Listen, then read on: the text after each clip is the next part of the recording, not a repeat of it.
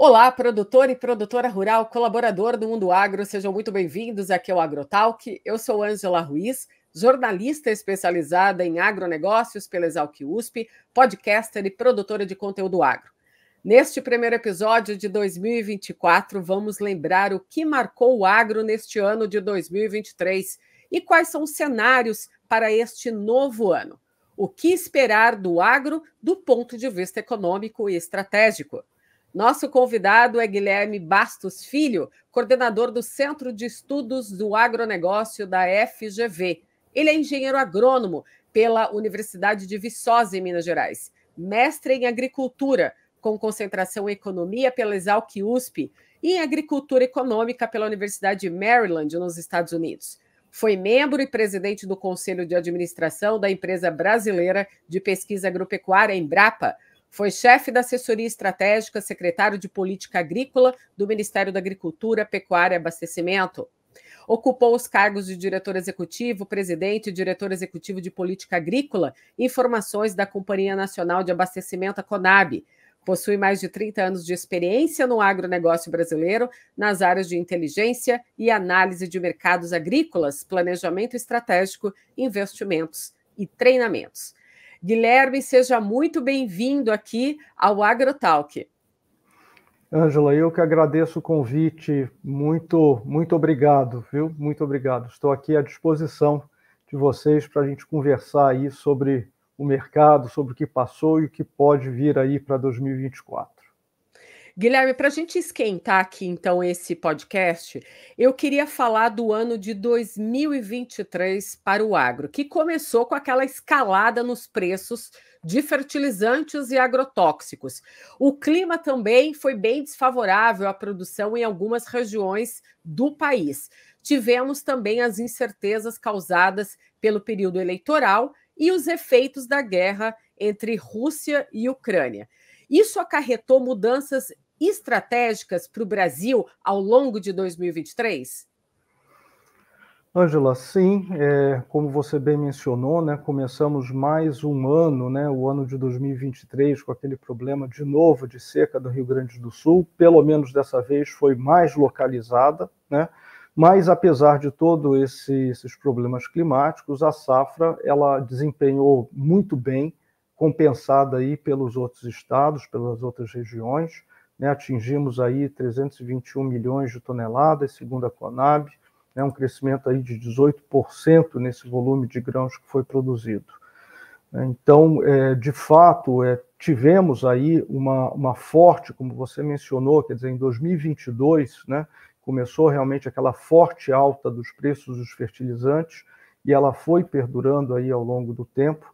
Isso acabou, eu diria, é, corroendo as margens altas né, que os produtores estavam acostumados né, a, a presenciar, principalmente no, nos últimos três anos. Então, com isso, realmente, houve, inclusive, né, pensando aí em termos de produtor, segurou-se muito a questão dos investimentos, né? A gente começou a ver uma desaceleração na aquisição das máquinas agrícolas, e isso já é um reflexo aí desse ambiente com margens mais apertadas e uma forte queda aí no preço das commodities, né? Então, a exceção de açúcar, arroz né, e laranja, o restante das commodities, aí pensando 2023 versus 2022, tiveram todas aí uma queda de quase 20%. E, além disso, câmbio também, né? O câmbio ele ficou relativamente valorizado, abaixo é, de R$ reais, né, e com isso daí a rentabilidade do produtor realmente ficou mais comprometida.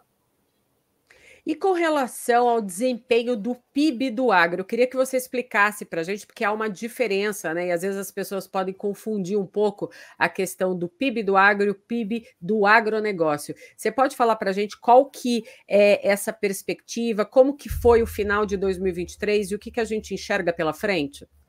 É.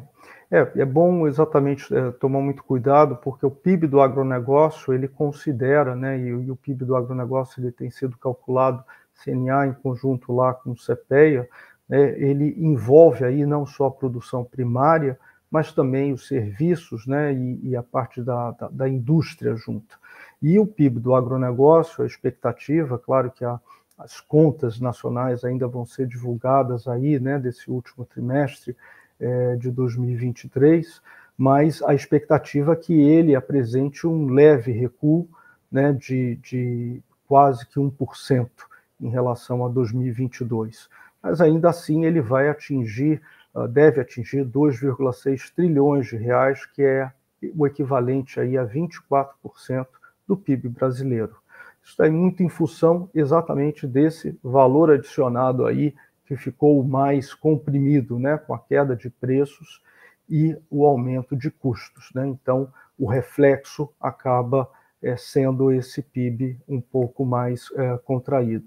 Já o PIB do agro, quer dizer, dentro da porteira, né, ele teve aí um efeito muito forte em função do aumento de volume. Então, como a gente falou, é, teve aí um aumento de 18% na safra de grãos, teve uma boa, um bom, uma boa, é, bom retorno aí da safra de, de, de, de cana-de-açúcar. Então, isso tudo contribuiu e deve contribuir para o PIB do agro, aí dentro da porteira, ele crescer aí para em torno de 14,5%. Isso daí vai dar aí 7,5% de participação no PIB é, total do Brasil. E essa participação do PIB, a gente não pode deixar de mencionar as exportações brasileiras, né? Você acha que o Brasil deve entrar o ano de 2024 nesse top 10 aí das exportações de algumas commodities, é claro? É, eu acho que a, a, gente vai ter novos concorrentes, né? Eu acho que a Argentina ela volta aí, principalmente pensando aí no, no, no retorno das condições é, de umidade, né? Aí para a Argentina, Argentina aí em termos de soja e milho é, deve ter uma boa recuperação, algo em torno de 25 a 30 milhões de toneladas. Então, com isso, coloca a Argentina de novo aí no rol de, de, de, competitividade nas exportações internacionais, principalmente pensando em termos de é, farelo, de milho, né, que o Brasil conseguiu nesses últimos anos em que se teve essa grave seca e os problemas também é, internos da Argentina, favorecido muito a nossa ampliação no mercado internacional. Mas é, fechando o balanço de 2023, né, a expectativa é que a gente passe aí os 160 bilhões de dólares né, que foram atingidos em 2022, né, é, talvez chegue aí uns 164 bi, né, e com isso tenhamos aí a nossa consolidação. Mas diria que 2024, é, em função inclusive do que a gente vai conversar sobre esses problemas climáticos agora para a safra 23-24, né, o excedente exportável ele vai ter um pouco mais de dificuldade de ser colocado aí no mercado internacional. Não que a gente vá perder a liderança em todos, mas talvez o que a gente tinha alcançado de liderança de milho, de algodão, algodão talvez a gente possa até é, passar, mas a gente vai ter, eu acho, um pouco mais de, de dificuldade de concorrer no, no mercado. Exatamente, você tocou aí na safra, né? A gente é, olha agora para esse cenário, para uma estimativa dessa safra de grãos 23, 24 que está no campo, e a gente olha para a questão climática, porque a gente veio de três anos de laninha, que a gente viu todos os problemas que esse fenômeno laninha ocasionou no sul e também no centro-norte do Brasil. E aí a gente, logo em sequência da laninha, entramos no período de El Ninho, que estamos agora. Né? Esse El Ninho ainda é, está sendo previsto até abril de 2024, ainda atuando né, na safra agrícola. Como que você enxerga essa questão também é, das outras culturas, como a laranja, por exemplo, sendo afetada também pelo greening, eu acho que isso também impacta bastante né, a balança, essa balança comercial brasileira, porque a laranja é um produto hoje muito exportado. Como que fica essa questão para você? É, esse é, eu acho que isso daí acaba, uh, de novo, só uh, passando, quer dizer, uma projeção ainda de manutenção de preços elevados. Né? Então, a gente já passou uh, esse ponto aqui na, na, nesse ano, né, em que o preço da laranja esteve realmente elevado, né, e a expectativa é que ele se mantenha. né, justamente por esses fatores que você tem mencionado. Isso é preocupante. O greening é uma doença que realmente tem causado aí uma dor de cabeça muito grande e a exposição do Brasil né, nesse mercado internacional de suco de laranja é fortíssima. Então, realmente, acho que a gente vai continuar afetando esse mercado aí de uma forma generalizada por uma questão aí desses problemas climáticos afetando e associados aí à doença. É, Guilherme, eu queria saber de você se você é, prevê, se você acha que a economia pode desacelerar em 2024 com menos agro e mais investimentos. É, eu acho que tem, e a gente tem visto também, é, mencionando nesses três últimos anos, né, que a despeito dos problemas climáticos, o agro é, vem desempenhando, veio crescendo, né, e isso mostrou muito a dinâmica, né, como se isso refletiu aí nas expectativas de crescimento do PIB. Né? Geralmente você começa o ano né, com expectativas muito modestas e essas expectativas acabam é, com uma caixa de surpresa se revelando mais altas, e eu acho que muito tem isso, quer dizer, de um setor aí, como, como eu disse, representa quase 25% da economia, né? Então, ele indo bem, ele vai, ele vai tendo uma, um, um efeito aí multiplicador em outros setores. Então, como a gente disse, né, o PIB do agronegócio ele não envolve só a produção primária, mas sim serviços e a indústria. Então, com isso tudo, ele acaba tendo é, realmente um, um, um boom né, de, de, desenvolvimento pelo interior do, do, do país. E a, a, expectativa é que com essa desaceleração, muito provavelmente a gente vai ter, é, tanto em termos de expectativa de redução na expectativa de produção, como também dos preços, né, pode ser que realmente isso segure um pouco mais as expectativas de aumento da, da, da, da economia.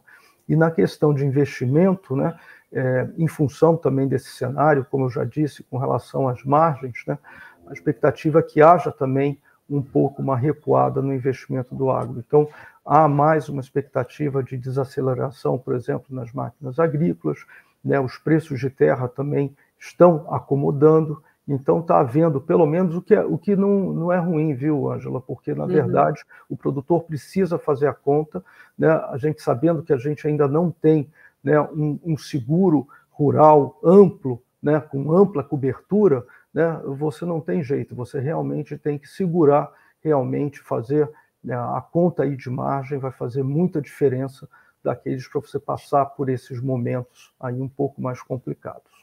Ou seja, para esse agro crescer, né, nem que seja aí dois pontos percentuais, o produtor rural, é, o agronegócio brasileiro vai precisar fazer muito planejamento estratégico e econômico.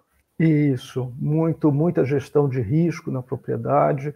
É, não dá para ficar brincando, né, com, brincando no, no, no sentido de apostar né, em altas, é, sem você pelo menos travar os seus custos, fazer realmente um planejamento. A gente sabe que nem sempre os recursos do Plano Safra estão disponíveis para todo mundo, então tem que fazer uma composição de venda antecipada, é, tem que ver aquilo que consegue utilizar de recurso próprio, enfim, tem que realmente trabalhar melhor o planejamento e a gestão de risco dentro da propriedade.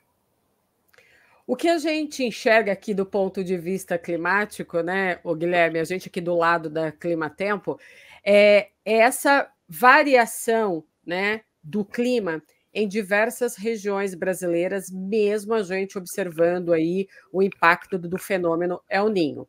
É, eu estive é, no, no, início de novembro é, rodando o norte do Paraná. E por lá eu enxerguei que boa parte dos produtores de soja, é, apesar de eles terem passado por um ano de dificuldade climática, eles tiveram ainda boas condições de lavouras, né? Até então, quando eu observei ali o início do plantio da soja, ela já estava praticamente é, finalizada, você já enxergava ali a soja num estágio assim de V3, V4, mas eu vi que o norte do Paraná, o quadro deles, do ponto de vista climático, foi um pouco diferente de outras áreas do sul do Brasil, né? É, apesar de eles terem tido algumas dificuldades ali com o tempo quente, pouca chuva, eu vi que as lavouras startaram bem esse o, o, desenvolvimento.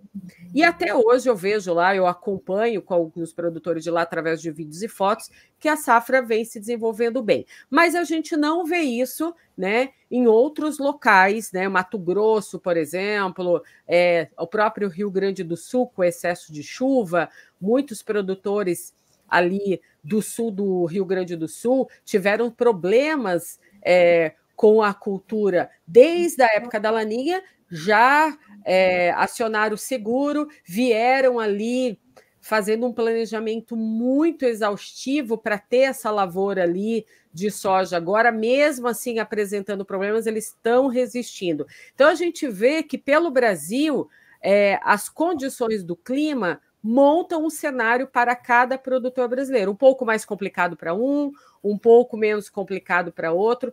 Então, é, você considera que a safra brasileira de 23, 24, ela pode apresentar aí uma diminuição das estimativas que foram divulgadas daqui para esse ano de 2024 que está iniciando, e a gente vê uma migração aí do produtor rural para outras culturas, tentando antecipar aí a colheita da soja?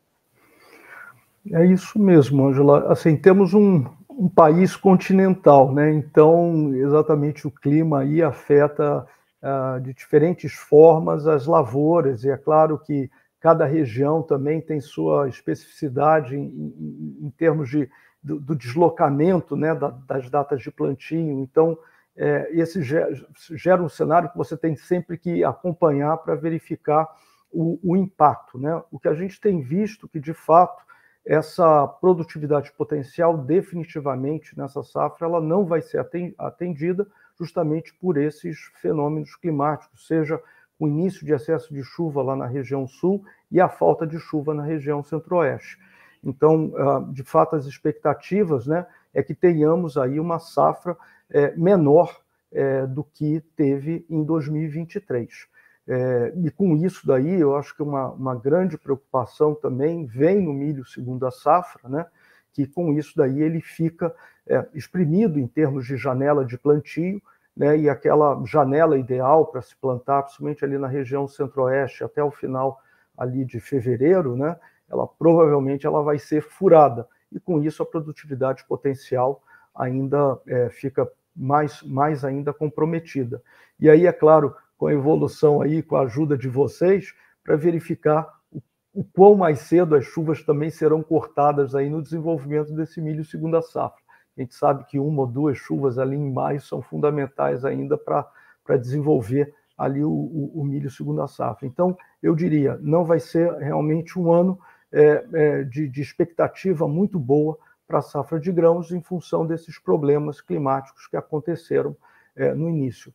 Questão de volume, né, é, já existem algumas estimativas é, colocando aí a safra de soja, por exemplo, em 150 milhões de toneladas, fazendo exatamente aí é, um, um, desconto grande aí na região centro-oeste, por conta realmente desse, desse momento em que teve regiões que você teve que fazer até dois replantios uh, de soja, coisa que uh, praticamente inexistiu nessa história aí do Mato Grosso, né, de, de produção.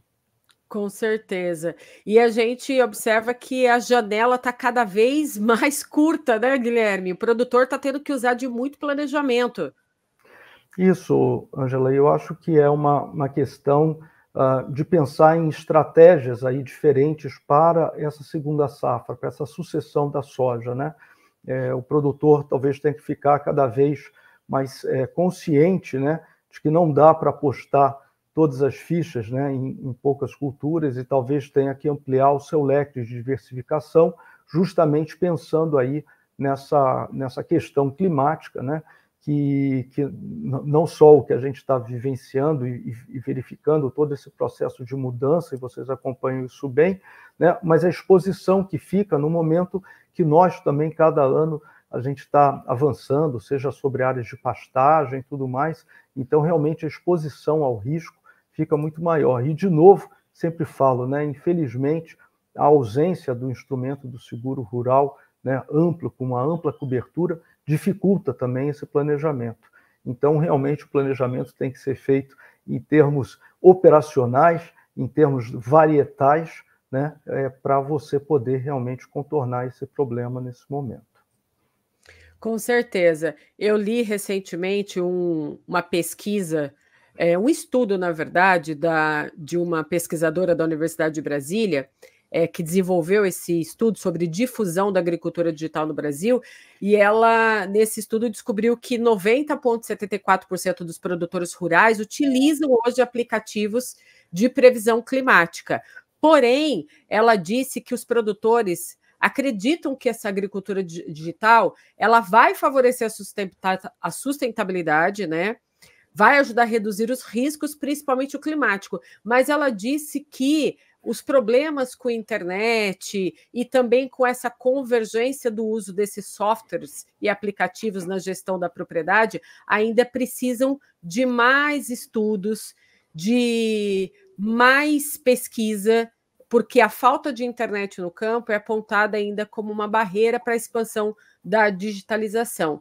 É, você enxerga que a gente vai precisar ali é, ter mais pesquisas, mais tecnologias, para a gente fazer essa convergência da internet, máquina, equipamento disponível para o produtor rural, para a gente poder conseguir conectar todos esses processos de produção agrícola, para a gente ter mais informação para tomada de decisão, porque o planejamento estratégico hoje depende de dados, né, Guilherme? Isso, depende de dados. Eu acho que essa é uma é um ponto, Angela, que é um eu acho que é um grande calcanhar de Aquiles do, do país, né? É, claro que o, o agronegócio, o setor como um todo, ele vem crescendo a despeito dessa falta de informação, e eu acho que com muita dedicação e resiliência do setor como um todo, que sempre investiu em trabalhar com modelagens, com, né, com uma, uma forma de você tentar acertar é, um pouco mais essa, essa, essa profusão que a gente tem de informações desencontradas do setor. Então, isso daí realmente é, é fundamental. Agora, o que você estava falando aí dos aplicativos digitais, né? É, eu acho que pesquisa nisso tem bastante. E aí eu acho que um, um, problema que a gente vai ter é a falta de cobertura digital e que ela precisa realmente ser ampliada. Né? A gente tem que evitar né, a exclusão digital. Né? Então a gente tem que pensar em como, como fortalecer essa cobertura para que a gente possa exatamente é, esses instrumentos estejam ah, nas mãos aí do, dos produtores. E lembrar que com a agricultura de precisão, né, a possibilidade né, de você melhorar essa resiliência climática ela é muito grande, né, porque você começa exatamente a aproveitar melhor o potencial produtivo das plantas, você começa a trabalhar também uh, melhor essa questão uh, do, do manejo do solo, né, em você fazer uma, uma utilização mais racional dos insumos. Então, eu diria que é, é, é um benefício né, que a gente precisa pensar em como universalizar isso na nossa agricultura. Exatamente, você falou uma coisa super importante, porque assim, a gente vive agora é uma crise né, climática. As mudanças climáticas, elas estão acontecendo. Né? A gente vê a temperatura que o planeta já atingiu, como deve prosseguir, né? A gente viu aí é, os assuntos sendo debatidos na COP, é, causando esses transtornos que o mundo está vivendo atualmente, não só o Brasil, né, dentro desse cenário climático, né, seja de estresse hídrico, seja de altas temperaturas, seja de chuvas irregulares, e isso mexe com toda a fisiologia da planta, é, obriga a gente, o Brasil, a investir em mais pesquisa. E mais uma vez, a gente tem uma difícil missão, né? Que é essa pesquisa no Brasil, porque o planejamento estratégico também ele vem muito do que dessas mudanças, dessas pesquisas que a gente que está dentro desse ambiente, que a gente precisa convergir para elas, para a gente saber como que a gente vai fazer um planejamento estratégico se a gente não tem ali como utilizar dessas pesquisas e tecnologias. Para 2024, você acha que é, o cenário é positivo para a gente visualiza aí é, as pesquisas no âmbito de biofungicidas, de sementes e, é claro, de tecnologia? Eu acho que essa é, uma, é, um, é, um, é um ponto, claro, uh, enfim, eu, eu estive lá no conselho da Embrapa durante mais de um ano, E, e, de fato, assim, a gente vê que a pesquisa não para a despeito de, dos problemas, principalmente a pesquisa pública, a despeito da questão da falta de orçamento. Né? É, tem muita parceria uh, público-privada acontecendo, a própria pesquisa privada tem avançado bastante. É claro que precisaria, para a gente manter nessa liderança e essa produtividade toda que a gente tem uh, alcançado aí ao, ao, nos últimos anos, é preciso mais investimento em P&D, com certeza. É, mas é, você mencionou a questão dos bioinsumos, né? A gente vê como é que a, a taxa de adoção desses bioinsumos na, na, agricultura tem crescido aí da ordem de dois dígitos. A gente tem visto grandes movimentações aí na indústria em termos de fusões, aquisições, né? E um setor que está cada vez mais dinâmico e crescendo, né? É, lembrando que muitas vezes ele não tem nem o, o, o, objetivo de substituir o químico, né? Muitas vezes ele entra como um adicional em termos de manejo e, na verdade, em cima da expansão que a gente ainda mantém no setor, ele acaba mais auxiliando, né? Com, com outras técnicas, com alternativas que muitas vezes são até melhores do que os químicos. Então, eu diria que ele, ele acaba sendo mais uma ferramenta aí para gestão dentro da, da, da propriedade. Eu queria voltar na pauta da exportação, porque assim, depois que a gente superou aquela fase horrível da pandemia do Covid, é, e a gente ter visto essa reabertura da economia global, o Brasil se beneficiou bastante dessa alta de preço das commodities, né? É, num cenário de um mundo bem mais resiliente. É, os países a gente vê têm crescido mais do que o previsto, é, Para 2024, agora, mesmo a gente tendo essas dificuldades climáticas impactando a safra 23 e 24. A gente vai acompanhar, é claro, aí os números, as estimativas de Conab e IBGE, mas você acredita que a gente ainda vai se manter aí na, com a exporta, as exportações fortes aí é, e a balança comercial vai se manter equilibrada, pelo menos nesse início de 2024? Olha, em termos de balança comercial equilibrada, eu não, não tenho dúvidas, né? Eu acho que a gente é, mantém esse ritmo aí de contribuição para a balança comercial brasileira já há, há muito tempo. É, a minha dúvida é com relação ao, ao volume né, que nós atingimos esse ano, e eu acho que exatamente esse ano, uh, em 2023, em função exatamente das expectativas aí dessa, desse, desse, dessa redução de produção das principais commodities sendo exportadas. Então, eu acho que isso daí a gente vai ter é, talvez um pouco mais de dificuldade de ter um desempenho tão forte quanto a gente observou uh, nos dois últimos anos.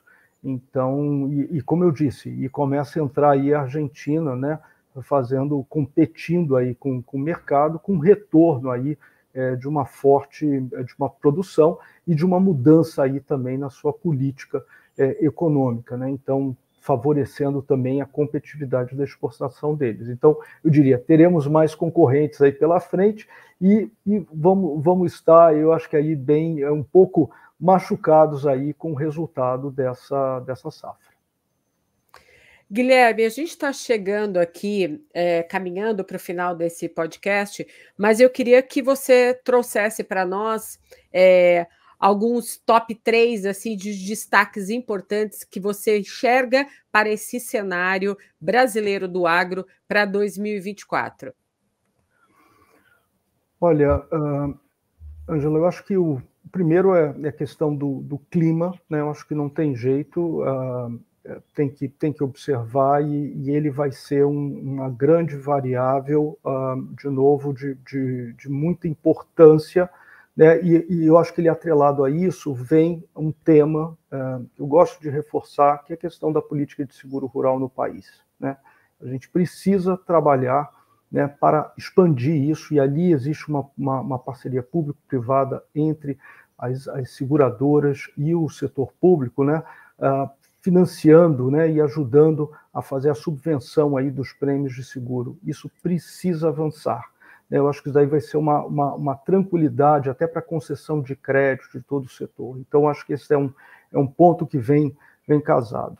Eu acho que tem um outro ponto também que vai ser, é, eu acho que diria, a gente vai começar a viver é, um, um, novo mundo com a questão aí da reforma tributária, né? Acho que ela, ela vai ter aí um impacto e o setor tendo sido uh, é, beneficiado aí com uh, ter uma redução aí na, na, na, na tributação é, de 60%, acho que isso daí vai dar também um bom horizonte de como que o setor ele vai começar a se reorganizar em cima desse novo contexto tributário. Isso vai ser muito importante para, havendo aí a redução dessa, daquela, daquela briga né, de ICMS e tudo mais, a realocação também da indústria, a gente vai começar a ver é, um cenário uh, mudando nesse, nesse aspecto. E tem um outro ponto que eu acho que é, que é bastante delicado, que é a questão do tema da segurança jurídica no país.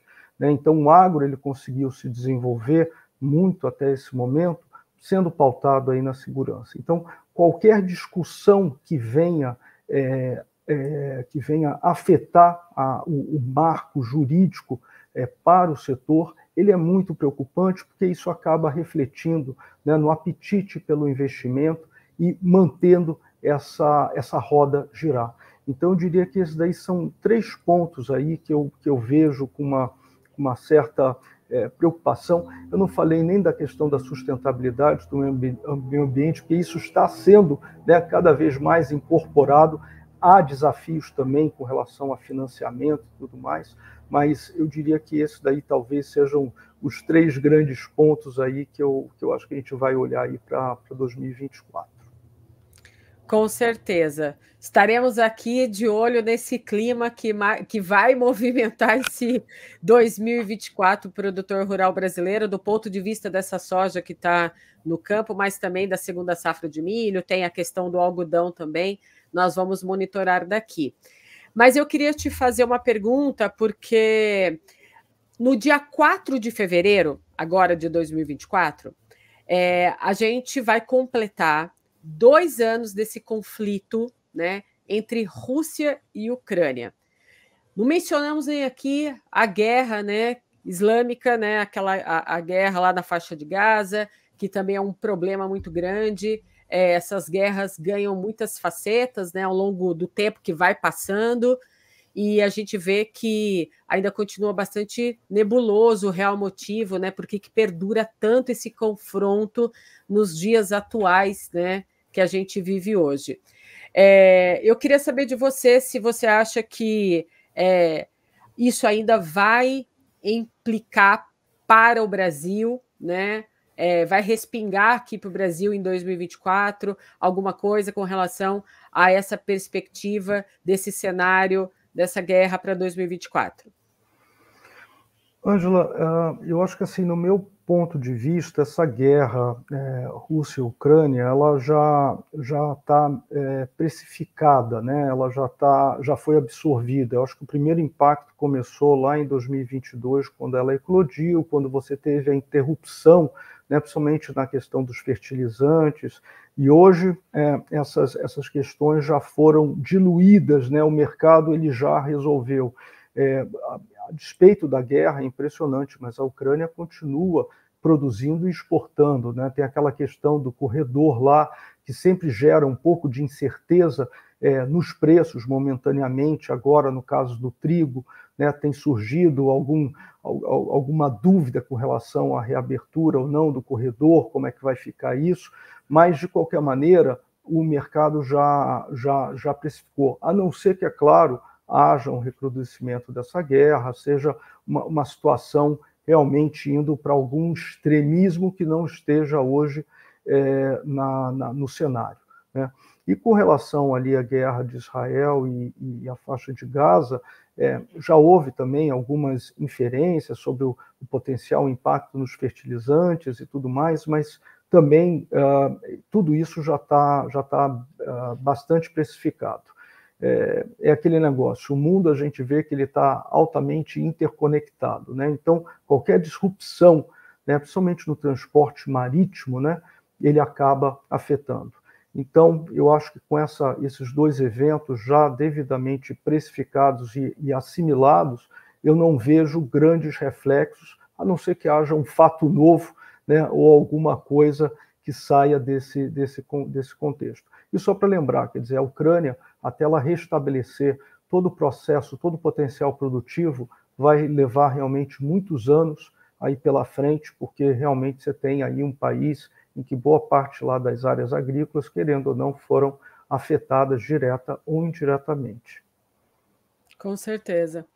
Bem, a gente caminha para um ano de 2024 é, bastante decisivo, né? Já que a gente comentou aqui, né, que o impacto do clima vai influenciar bastante aí nas commodities. A gente falou um pouco aí do caso da laranja, falamos do milho, né, da soja, é, até do algodão, mas a gente sabe que existem outras culturas que pautam a, esse agro brasileiro, que é o café, o cacau, tão importantes quanto as outras culturas. Mas a gente vê que a gente tem vários cenários, vários desafios, vários obstáculos a ser passados ao longo de 2024, né, Guilherme? É, e a gente vai ser um ano bastante decisivo, porque 2024 vai ser um ano pré-COP, né, já que a gente vai sediar uma COP em 2025 em Belém do Pará. Então veja que o assunto do clima, né, vai ser pautado aí ao longo de 2024 inteiro e eu tenho certeza que como o produtor rural é resiliente, o Brasil também, né, sempre ressurge, né, das cinzas aí para tentando equilibrar aí a, a, economia. Então, ação, de qualquer forma, eu enxergo, é, pelo que você comentou aqui, que nem tudo está perdido. O cenário ainda é de otimismo, não é verdade? Não, sim, eu, o, isso o produtor também ele sabe, né? Ele vive esses, esses ciclos todos e, e é isso. A agricultura é uma indústria céu aberto, né? Então é, é, claro que tem sempre a questão da irrigação, né? E que tem evoluído bastante como uma forma também de você reduzir essa exposição climática, mas claro que você traz para si né, uma gestão, uma administração completamente é, diferente, mas eu acho que faz parte de uma estratégia. É, e é isso, é, você é, é faz parte do, do, do, negócio, né? Em você Sim. administrar esse, esses momentos aí de altas e baixas, e é isso. O Brasil ele tem é, uma, como eu disse, uma dimensão continental, tem uma série de produtos, né? E você com isso você consegue trabalhar. A gente vê a pecuária, né? Como ela tem é, se intensificado e ganhando produtividade ano após ano, que isso daí, inclusive, tem sido um dos fatores que tem é, colocado e levado mais barreiras comerciais aí, internacionais, porque é isso, o Brasil realmente é um, uma potência agroambiental muito grande. Né? Só que exatamente esses desafios, eles acabam ficando muito difíceis de serem atingidos né? E, e, e, passados aí com, com uma velocidade, em velocidade curta. Então, não tem jeito. O importante é que tenhamos aí um alinhamento né, do governo com a iniciativa privada para que isso possa ir numa, numa direção a ponto de favorecer a todos. Então, esse é o grande desafio. Mas eu diria que o agro tem esses, esses altos e baixos, mas a perspectiva é sempre muito boa, desde que tenhamos o que eu comentei ali, a nossa segurança jurídica, para que possa esse todo esse, esse, esse processo, todo esse sistema possa evoluir é, com sustentabilidade, com gerando riqueza, gerando emprego, gerando uma série de oportunidades para outros setores, como a gente tem visto aí ao longo dos anos. Muito bem. E para finalizar, eu queria que você me contasse como que estão os trabalhos dentro do Centro de Estudos do Agronegócio da FGV, como que você está né, tá lidando junto com a equipe nessa coordenadoria por lá? O que, que vocês estão planejando para 2024? Olha, temos aí um, uma série de desafios, importantes projetos né, para serem, uh, serem trabalhados ao longo de 2024. Um deles está aí para começar a pensar numa agenda estratégica aí para 2050. Né? A gente tem que olhar bem para frente, né? Há uma diferença, há uma mudança aí de hábitos alimentares, de renda, tem a questão das mudanças climáticas mudando aí a, a, a, composição aí das lavouras, das culturas, das atividades agropecuárias. Então a gente tem que botar tudo isso é, num contexto e realmente é, trabalhar o que a gente viu, que última, a última publicação que bota para 2050 da FAO, existem muitos rombos aí uh, com relação à expectativa de produção. Por exemplo, colocava o Brasil produzindo soja, são 208, 200, não, 100 e, 108, 116 milhões de toneladas, já passamos aí de 150, né? Então mostra que realmente a gente tem que olhar para frente com a nossa realidade e para isso é um, é um trabalho que a gente pretende desenvolver aí ao longo de 2024.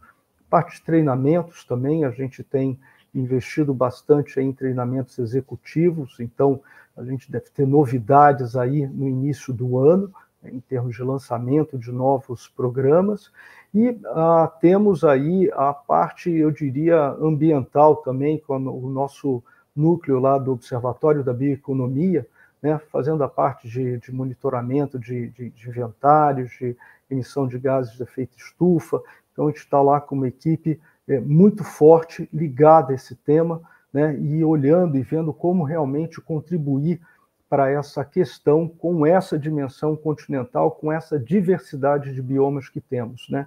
Então, a gente realmente tem que tra trabalhar muito, cada vez mais, em tropicalizar as nossas métricas, né?